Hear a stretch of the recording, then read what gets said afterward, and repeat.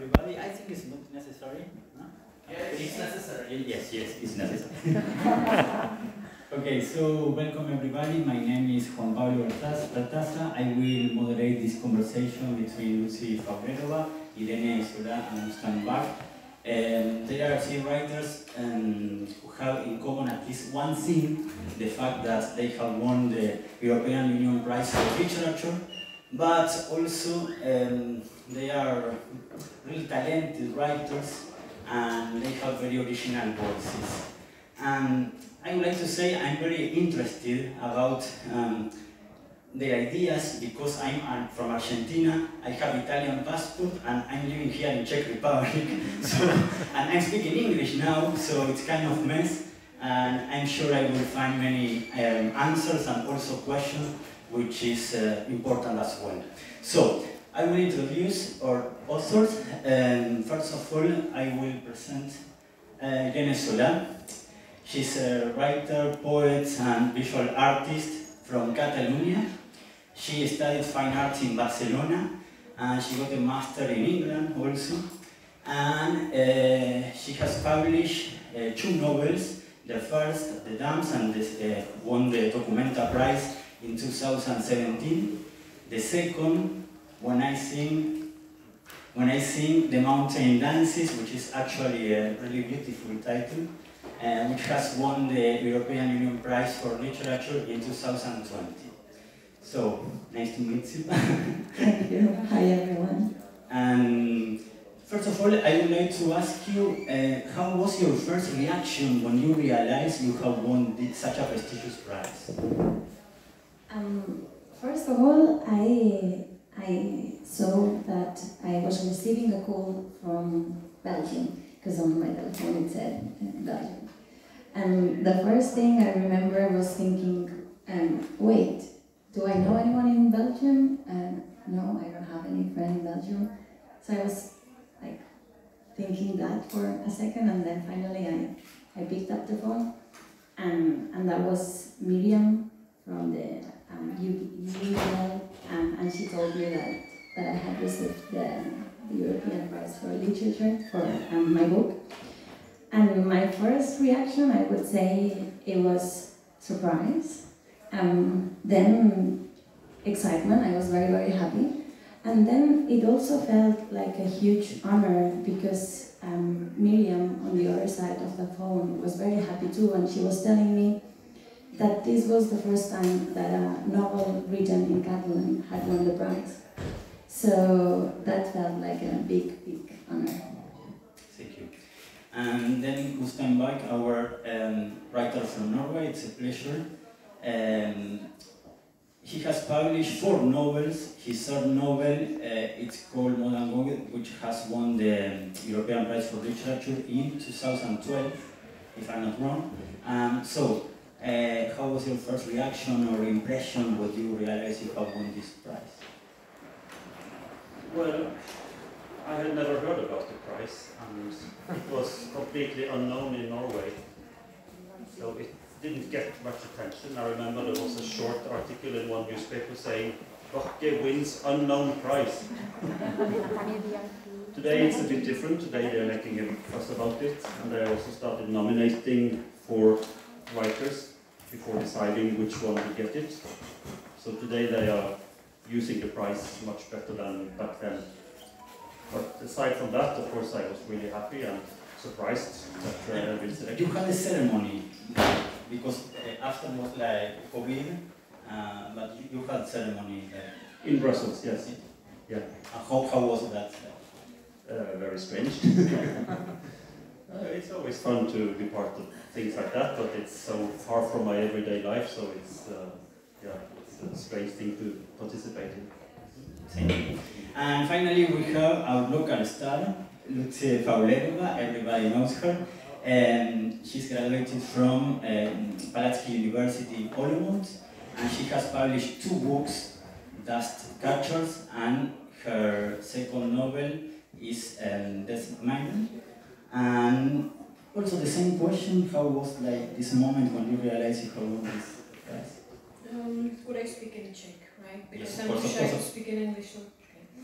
Um, já jsem byla hodně překvapená, protože jsem jednak jsem nevěděla, už když jsem byla nominovaná, tak jsem byla překvapená, protože jsem nevěděla, že ten rok uh, je, je i Česká republika součástí uh, ceny Evropské unie. A když jsem se dozvěděla, že jsem vyhrála, tak jsem měla samozřejmě velkou radost. A nemohla jsem to oslavit asi tak, jak bych to bývala oslavila, kdybych nebyla těhotná. Um, no, ale nevím, to bych vlastně řekla víc, než že mi to udělalo radost. Thank you, Lucia. And now entering in, the, in our subject of this table, uh, I would like to say some months ago we had interviewed um, the French writer Jean-Marie Gustave Le which has uh, won also the Nobel Prize. And he told me that the idea of Europe is very complex because there is not one European civilization, but many European civilizations. And according to him, for instance, people from Spain could have more in common with people from Mexico or Peru or even Argentina than with people from Norway or Iceland. But, ironically, I found in the novel of Irene Solá an epigraph from a very famous writer from Iceland. so that was very, very surprising for me. And I, I would like to ask you, how could you sum up your own ideas of being an European writer? Uh, maybe you can start talking about your uh, literary references, for instance. I don't know, uh, maybe Amy? Uh, sure. So yeah, as you said, um, in my second novel there is um, it starts actually with um, a little well like a little paragraph from Halldór Laxness, um, Independent People. Um, that is why um, that's because I I lived in Iceland for a little while. I finished my BA in Reykjavik, and there I discovered Halldór Laxness. I feel I felt a strong connection with him and with his book Independent People. I think somehow um, that book um, spoke to me or made me realize about things that I was interested in in terms of my own writing, um, like for example um, folklore, uh, oral traditions, etc.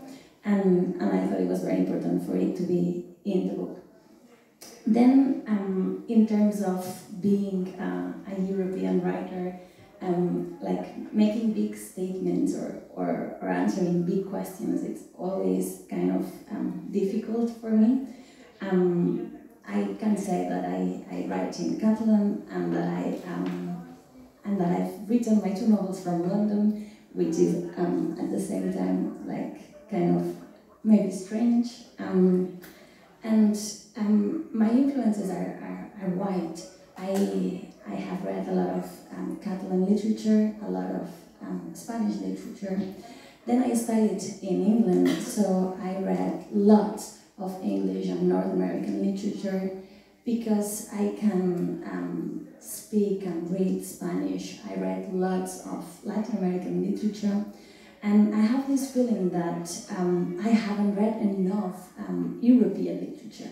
I have read some European literature, but I feel this thirst of knowing more about what is being written at the moment and what other writers like myself are, writing in all these languages that I cannot read, but that I want, um, I want to read translations of. And for me, this prize was somehow um, very interesting also in order to get to know all these names, all these other writers, all these other like um, literary traditions all around Europe that I have the feeling that um, I want to know more about. Gunstein? Yes, uh, uh, as a writer, for me, Europe is very important, uh, especially Central Europe and Eastern Europe.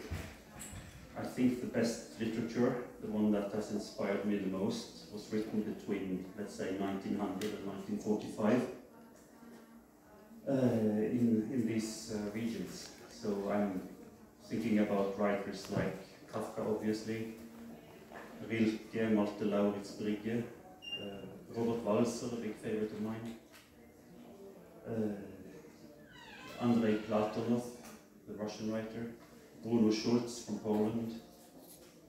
More recent writers also like Imre Kertész and Olga Tokarczuk.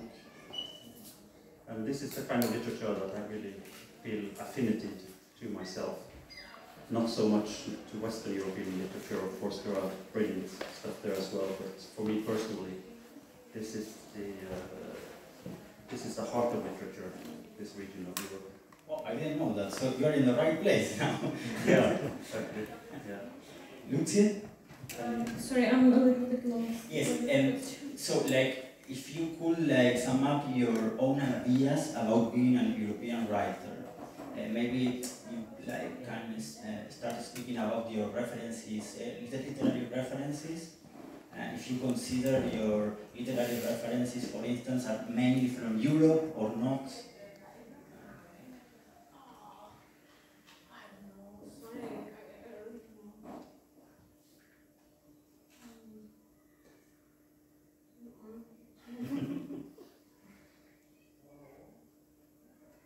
I mean, like you like writers from outside Europe, for instance. Of course, and I like uh, European authors, but uh, um, maybe I don't know.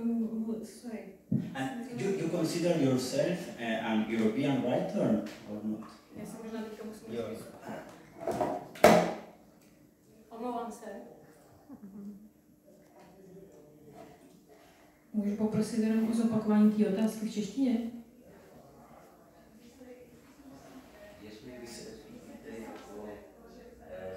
Evropskou. Mhm. Uh, jo, já, já jsem se trochu bála, že vlastně podobná otázka přijde už, když jsem zjistila, eh, jak se jmenuje ta, na, tahle diskuze. A říkala jsem si, že vůbec nebudu vědět, jak na to mám odpovědět a pořád to vůbec nevím. Um, já jsem o tom vlastně nikdy takhle ne, nepřemýšlela o sobě jako o evropský autorce, až vlastně ve chvíli, kdy samozřejmě po získání té ceny eh, se stalo to, že eh, jsem začala být překládána do více jazyků a začalo pro mě být eh, jako vzrušující pomyšlení na to, že mě budou moct číst i v jiných jazycích. A, ale eh, asi prostě nemám intelektuálně momentálně na nic jiného lepšího, co bych odpověděla. And I was thinking about like the topic of your books.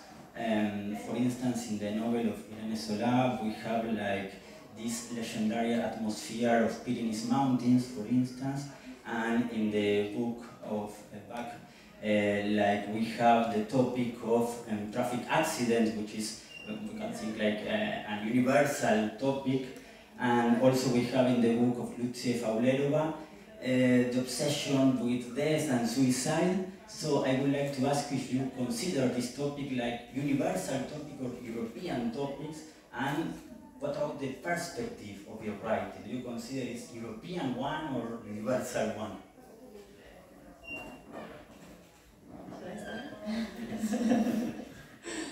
Um, I, I, I would say that um, that I think the topics of my um, novel to be universal, and that I, that's actually something I like to play with, um, because my novel is settled in the Pyrenees Mountains in, in, in northern Catalonia, very close to the frontier with France, and, and that is a specific place in the world. So I chose this place and I analyzed and I thought about that specific um, place.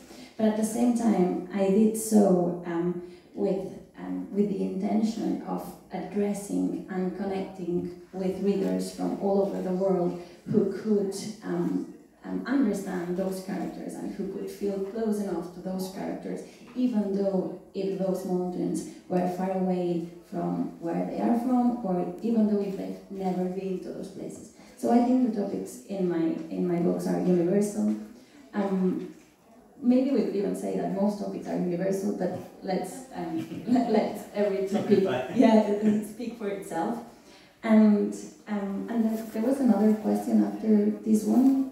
Well, yeah, if my literature is European, right? Yes. If my topics are, are European, um, I I am sure that if I was not from where I am from, um, if I was not from a little town near Barcelona, my writing would be different. Um, because I have this feeling that everything um, feeds you in terms of, of your writing, so that you learn and you take things from everything that surrounds you.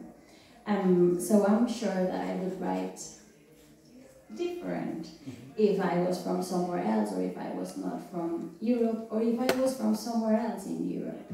Um, but um, at the same time, I hope that if I was from somewhere else in Europe or in the world, I would still write, even if um, those were different books, because writing for me is one of the most um, fun things and one of the, the, yeah, the things that I like most. Thank you. Winston? Yeah, when I wrote this book about traffic, I, I thought about Norway specifically to begin with, because Norway is a country with, many mountains and fjords. And for a long time, the different parts of Norway were very isolated, and it was really hard to communicate between the different valleys or small places because it took such a long time to get from one place to the other. And in recent years, there has been spent so much money on infrastructure, like tunnels, roads, very, very expensive projects. And you know, the entire cultural budget of Norway corresponds to like 50 meters of road building or something, you know. So the, the sums involved in infrastructure are so huge. And at the same time, because Norway is an oil nation, so I was interested in reflecting about the impact of oil on human awareness and feeling of life. For example, there is so much energy in- in oil, there is so much, it's such a wealth. How do we spend this wealth? Basically, we make small metal boxes, we make million, billions of them, and we transport individuals in 100 kilometer per hour horizontally. Uh, and this is probably not a very wise way to, to use it. But it's so, the phenomenon of traffic is so massive that we don't really think about it, we just take it for granted.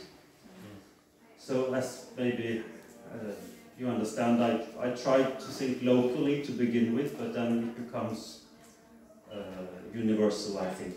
I hope, because everybody can relate to these things, uh, to traffic, the impact they have on the daily life.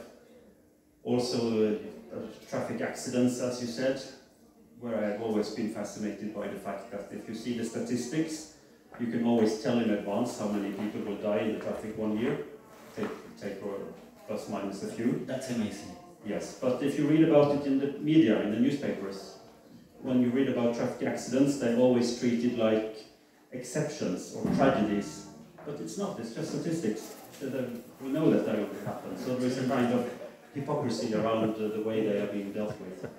Like this surprise about the accident is like strange. Yeah, but it's inevitable, it's the price that we pay. No, some people will die in traffic, but we don't sacrifice traffic because it's so important with this infrastructure, but we, we have to keep pretending that it could be avoided still. Lucia, um, this obsession with death or suicide, do you think this perspective has to do with like European mentality or also could be like universal topic? What do you think?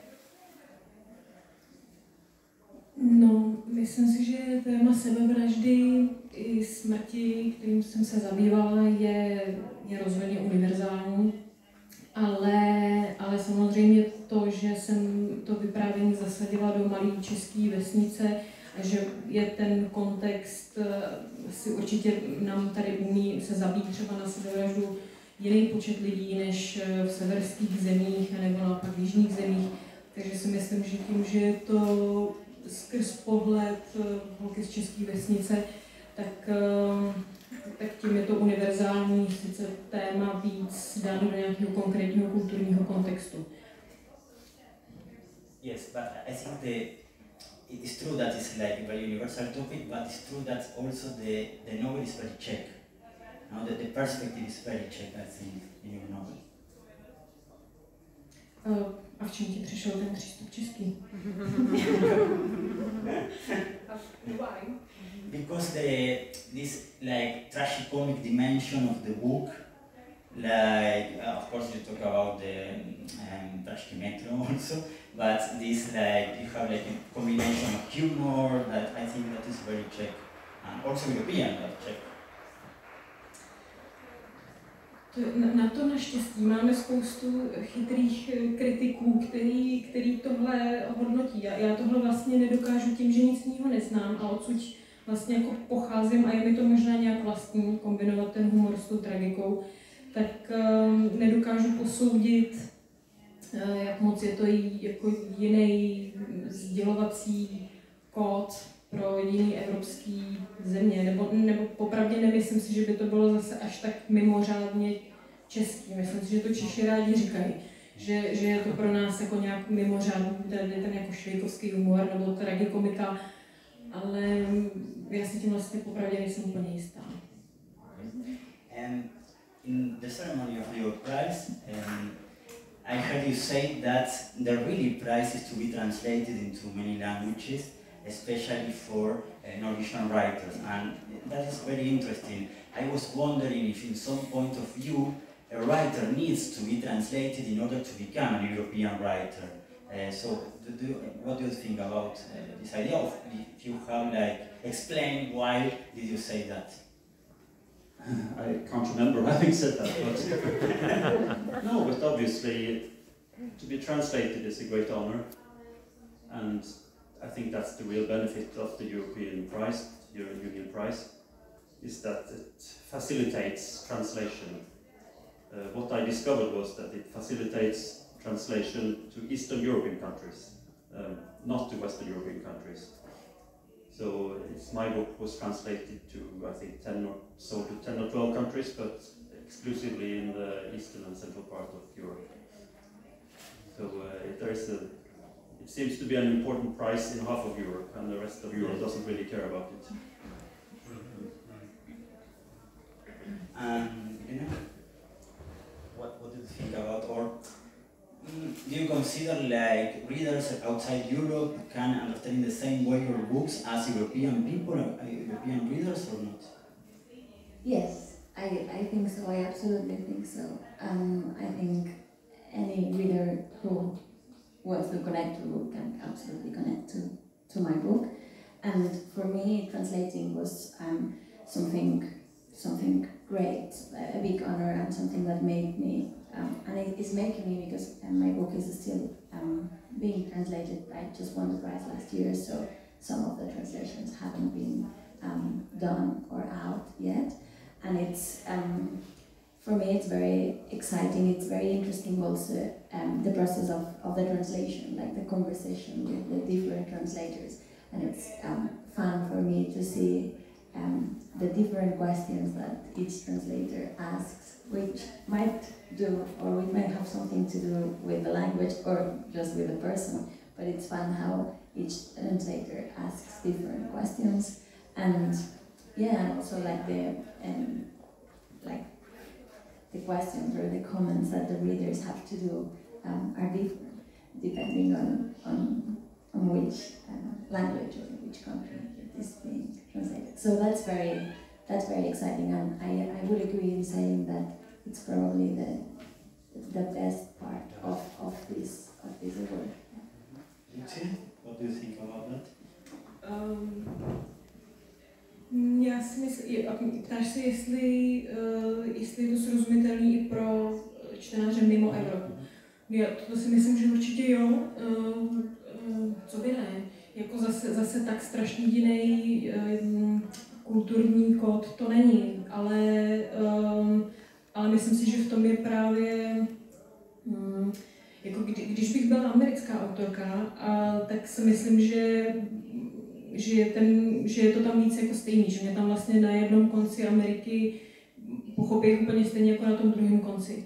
Tím, že evropský země, že Evropa je prostě různorodá, to je vlastně to, to krásné, co, co je. Že? A vždycky uh, vlastně to, že je to trochu jinak v každé zemi a že, uh, že se můžeme podívat pohledem trochu jiným jako kulturním na, na tu sam, třeba na, na, na ten univerzální problém, který řešíme i my, uh, tak to mi přijde, že je právě um, skvělý, ale zároveň ne, ne, ne nesrozumitelný. Um, I was thinking I have a question for Lucie Fabredoa. um, when Czech Republic uh, entered in the European Union was in 2004, if I'm not wrong, and you were 15 years old. No? Um, so if you can like share how do you remember this event, uh, this announcement, I don't know, this moment, uh, because I, I was told, uh, I I don't know if, if it's true, but like it was like a, a really change in the in the schools, in the society, or I don't know. How, how do you remember this this moment? Uh, if it was important for you or not at all? Přiznám se, že tyjo, jsem v tomhle věku se zabývala úplně jinými věcmi. Vůbec, vůbec, jako vím, že se to stalo samozřejmě a vím, že se to hodně, že to bylo veliký jako téma, ale já jsem eh, řešila beďary a kluky a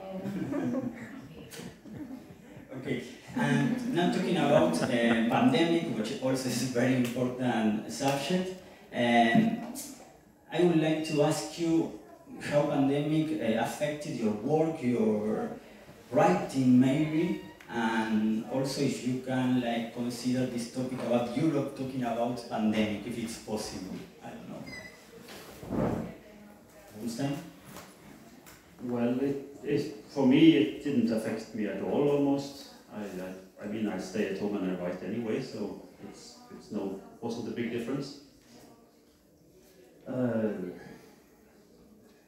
you want me to connect this to Europe? well, well, I don't know, Europe disappeared for a time. I mean, I always used to travel quite a lot, and for some time it was just not possible, and I realized how much I missed it. So, like now, coming here, being able to go, it's it's a bit. I mean, I've only been in Czech Republic once before, so I, I'm not, I can't say it's like coming home, but, but traveling is such a part of our identity, at least it is of mine. So just to be able to move around and meet people again is, is wonderful. Yeah. So, Yeah.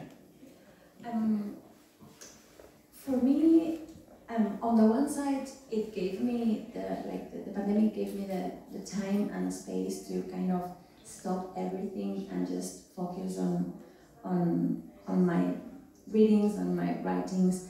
I um, I guess I'm lucky enough to live out of the city, so I lived in, in a place in which I um, like I have a little garden, so it wasn't it wasn't very very bad in, ter- in terms of, of confinement. So um, I could work not too much because I remember being a little bit worried and like you had to make big effort of like not looking at the news too often or you would get absolutely distracted. So on the one side I continued with like writing and, and reading etc. On the other side it did affect me um, because of traveling too. I, I, um, I, I had some big trips planned in terms of promotion of my book to um, to Argentina, for example, and to Bolivia and other places that I was really looking forward to go, and then suddenly in one horrible week, everything got cancelled. Um, so that was very sad. Um, but then it was not only that, but all the fact that for like a long while we could not travel at all, and I really missed it too. And um, two weeks ago, I was in Greece, and now I'm here. And tomorrow, I'm flying to Denmark for another festival. And this is the first time that I'm kind of moving around. And yeah, you cannot imagine how happy I am to like to be able to be here and to be able to be Lucy? Um, Mě, mě to obohatilo hodně eh, v mém osobním životě, obzvlášť protože jsem vlastně eh, celou tu první vlnu eh, půl roku eh, strávila uvíznutá v Americe, eh, kde tehdy žil eh, můj přítel. A vlastně pro mě to byla hrozně zajímavá zkušenost, protože jsem uvízla eh, na úplně cizí půdě s člověkem, se kterým jsem se předtím už jednou rozešla, takže jsem vůbec nevěděla, jak ten, jestli, jestli tím vztahem si můžu být jistá. A, um, a vlastně jsem tam na něm byla svým způsobem závislá. A, takže to v mnoha ohledech bylo hrozně nepříjemné a v mnoha ohledech vlastně um, jsem um, nechci, aby to znělo nějak ezotericky, ale jakože, že, jsem, že, že přitom vlastně jsem hrozně moc věcí fakt poznala a otevřely se mi obzory um, nový. A vlastně jsem si to v něčem dost užívala. To nevadilo mi úplně, že, že jsem uvízla tam, kde jsem uvízla na jednu stranu. No a myslím si, že z toho vlastně čerpám tak nějak doteď a že se to nutně jakoby pojí i s nějakou tvůrčí oblastí, s tím, jak o věcech jako třeba trochu jinak přemýšlím, nebo s tím, že mě možná oslovují trochu jiná témata než předtím, ale nedokážu to vlastně úplně jasně vymezit, eh, co, co to ovlivnilo, protože si myslím, že to jde ruku v ruce nějak přirozeně s tím, že se věci prostě změnily, tak, eh, tak mě to taky nějak ovlivnilo. Um, I don't know if we can open the questions for the party. If, if you like to, to ask something. No, I'd like to ask after all three of you have won. I'm sorry, sorry. After all three of you have won European prizes, if that's changed your inner voice when you're writing your future work now, meaning, do you start thinking, okay, I've got a bigger audience now, I've got a potential for many different translations? Because, you know, with Kundera being an example here, as his philosophy and his works got spread more and more, he, his, his literature became much more expansive. So I'm wondering, do you think, well, I can tackle a, something that isn't as local, you know, especially with, with uh, you know, obviously you're a community within a community.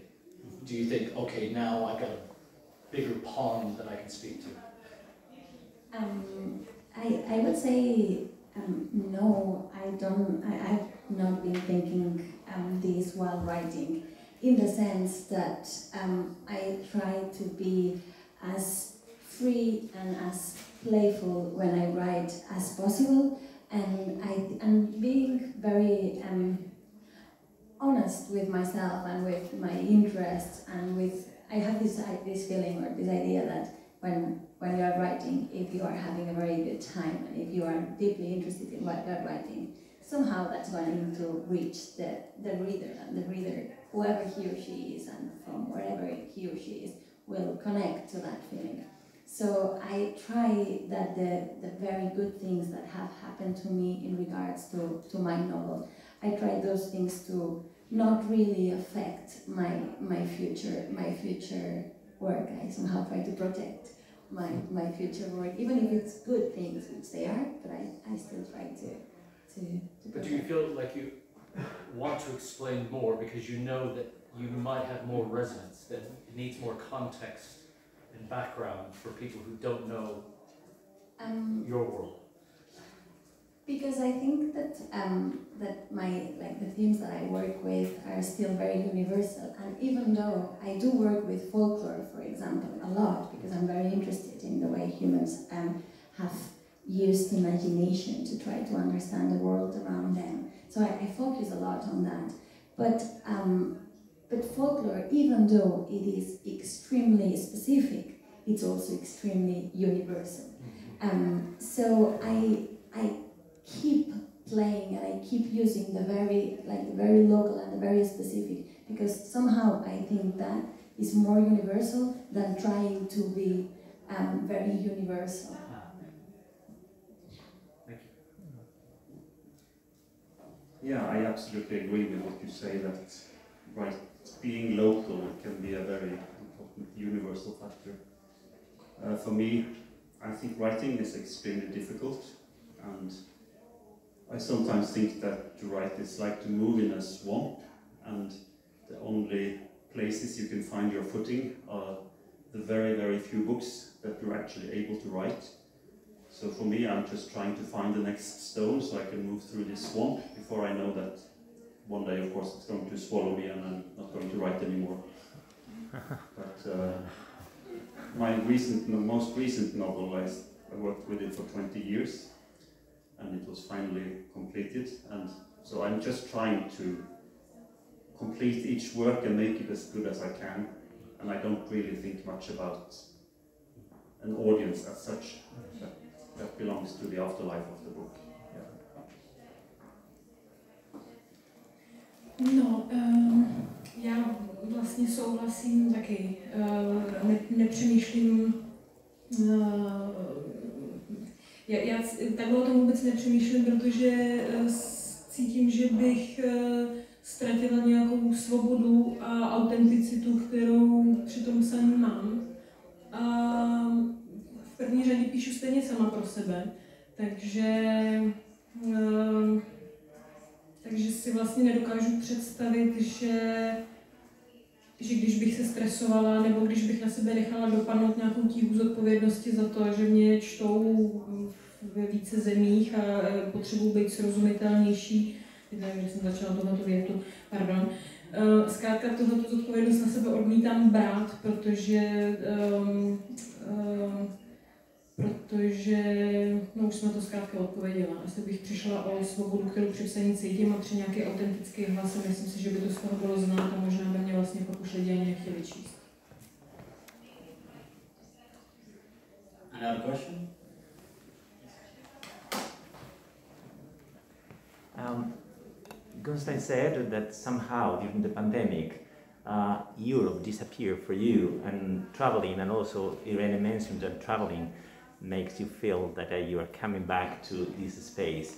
Um, what else makes you related, and do you feel, and do you think it's makes it related to the European or to other countries uh, you are living or, or related to? And that